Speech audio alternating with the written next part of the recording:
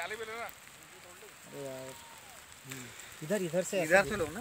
Photo ले लो ना यार। एक